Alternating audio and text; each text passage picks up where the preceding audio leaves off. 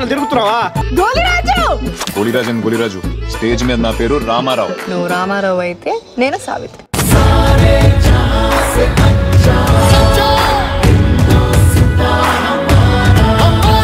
नमस्कार दोस्तों, स्वागत करता हूँ आपका अपना YouTube चैनल पे, जिसका नाम है न्यू मूवीज़ अपडेट तो दोस्तों 28 जनवरी के दिन, यानी 28 जनवरी के दिन रिलीज़ होने वाली Telugu sport drama based movie good luck Sakhi. इस मूवी के ट्रेलर से जुड़ी अपडेट आई है। तो अगर आप जानना चाहते हो, इस मूवी के, यानी गुड लक शकी, इस मूवी के ट्रेलर किस दिन और किस समय रिलीज़ होगी तो इस वीडियो को कम से कम एंड तक देखते रहिएगा। तो दोस्तों, सबसे पहले तो ही कहना चाहूँगा पेंडेमिक के चलते लगभग हर मूवीज़ के रिलीज़ डेट जो है पोस्टपोन होने लगे हैं। उसी दौरान ये मूवी रिलीज़ होना थिएटरों में हुई दोस्तों, बहुत ही बड़ी बात है। और उम्मीद ये है दोस्तों, ये मूवी बहुत ही बढ़िया ओपनिंग ले बॉक्स ऑफ़िस पे सक्सेसफुली हो, जिसके चलते आगे मूवी रिलीज़ हो पाए। और गुड लक शकी जो कि एक स्पोर्ट ड्रामा बेस्ड मूवी है, जिसमें लीडिंग कास्ट पे हमें नज़र आए हैं कीर्ति सुरेश, आदि जग्गू सर ऐसे ही कुल मिला के बहुत सारे कलाकार है। ट्वेंटी जनवरी के दिन, यानी 28 जनवरी के दिन ये मूवी रिलीज़ होगी। इस मूवी के टीजर बहुत दिन पहले ही रिलीज़ हुई थी, लेकिन दोस्तों, इस मूवी के ट्रेलर आना बाकी था और फाइनली आज मूवी के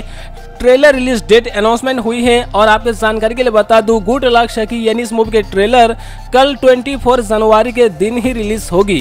जी हाँ दोस्तों टोमोरो 24 जनवरी को सुबह के दस बजकर ग्यारह मिनट पे इस मूवी के ट्रेलर रिलीज़ होगी।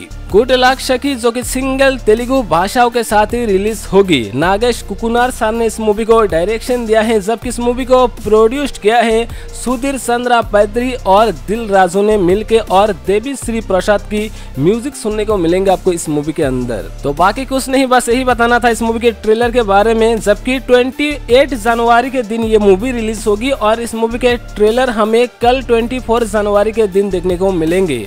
कितने ज़्यादा एक्साइटेड आप इस मूवी के ट्रेलर के लिए कॉमेंट करके ज़रूर बताइएगा। मिलते हैं अगले वीडियो में। टेक केयर बाय दोस्तों।